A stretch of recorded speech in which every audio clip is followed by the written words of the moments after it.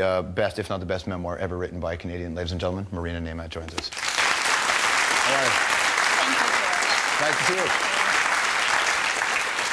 That is not you. No, it's not me. Okay, that's not you. Uh, the, the, we talked about you were sentenced to death by firing squad. Uh, the, and we thought of ways we could sort of explain that in, in, in, your bio there, but the story is so interesting, we just I would let you uh, tell us. So you're, you're facing the firing squad. What happens? Well, when I was arrested, you know, they interrogated me, they lashed me, they lashed the soles of my feet, and then they just took us out. You know, we were blindfolded, we couldn't see where we were going. It was me and four other people, two young women and two young men. How old were you? I was 16 years okay. old. And uh, we just walked outside. I was thinking maybe they were taking us to another building. And then we walked and walked and walked, and then they told us to remove our blindfolds. And we all, we were shocked. We were outside. We weren't in a building or something. And it was in the middle of nowhere. And then we noticed these wooden poles sticking out of the ground. And that was when my heart just sank. And I thought, they're going to tie us there and they're going to kill us. But it still wasn't real. You know, you're 16 years old, you have lived a wonderful life, you know, you have grown up watching Little House on the Prairie, mm-hmm. you know, and then this is happening. It just doesn't register. You know, they tied us up, and that was when I thought, okay, I'm going to die. And that was when a car just came up speeding and then it screeched, you know, stopped. And uh, one of my interrogators got out, got out of it and handed the, the other people, the firing squad, a sheet of paper. And they nodded, and then he came toward me and untied me from the pole and threw me in his car. And I started kicking and screaming because I had no idea where he was taking me, what was going to happen to me. At least there, you know, I knew that, you know, this, this is pretty clear what's going to come. But in a place like Evin, you know, you don't know what's going to happen to you in five and minutes. is the prison, which is it's a notorious prison. It is. It's where Zahra Kazemi was killed. Mm-hmm. It is. You don't. You, you back then, especially, you didn't need to have done much. You know, uh, one of my friends, she was 15 years old, the first one who was arrested from my school, Shahnush Behzadi. Two months later, we heard she had been executed.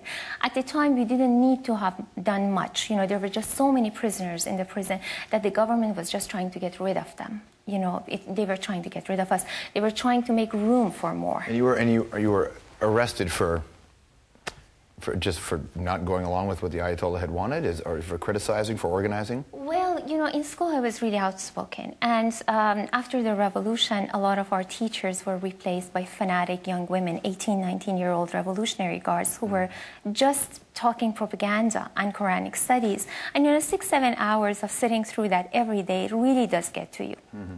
And I just got tired. I raised my hand. I was 14 years old. I asked the calculus teacher to teach calculus instead of government propaganda. And she said, if you don't like what I teach, leave. I did, and most of my classmates followed. And this was the beginning of the school-wide strike. So you get thrown into the back of this car? Yes. And you get driven away? Yes. And what happens? He took me to a solitary cell, and there he told me I, could, I couldn't walk, I couldn't even breathe.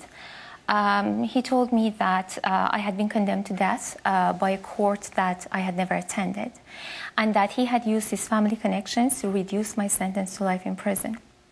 And he said that he had done that because he had believed me when I said I didn't know, I didn't have the information they wanted me to give them.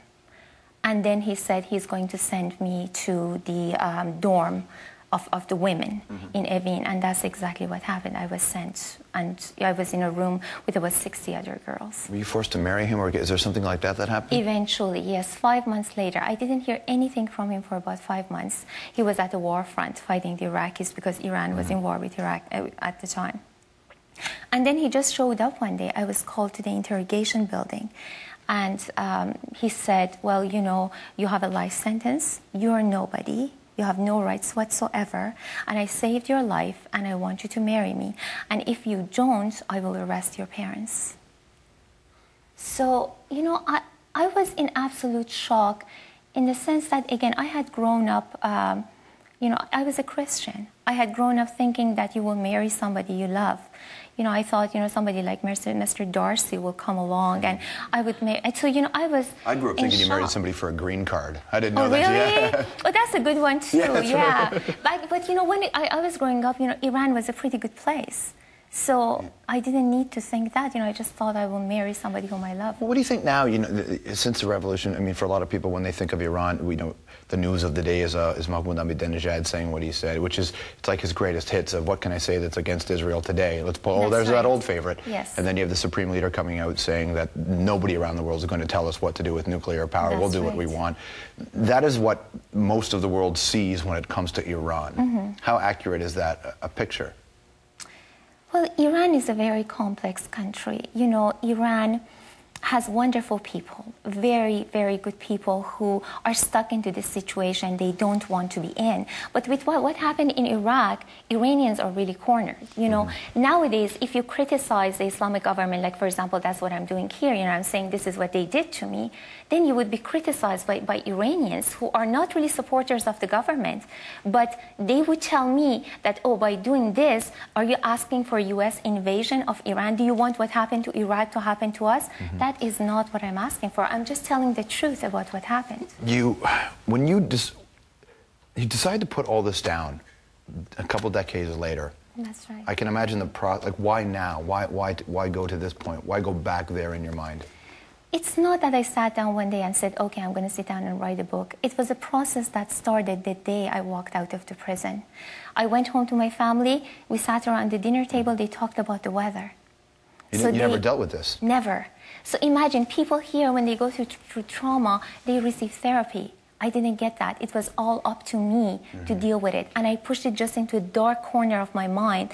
And eventually, you know, I got so busy after I was released from prison. You know, I got my high school diploma by myself without being able to go back to school. Mm-hmm. And then we left Iran. It was a lot of trouble to do that.